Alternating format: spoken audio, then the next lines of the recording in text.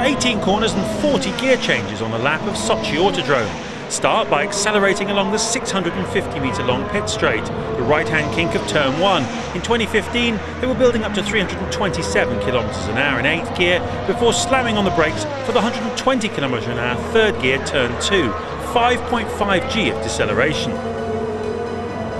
After a short squirt on the power, they enter the long double apex left hander, turn 3 accelerating to 290 on the exit, heading into 4, 145 in third gear, the right-hander.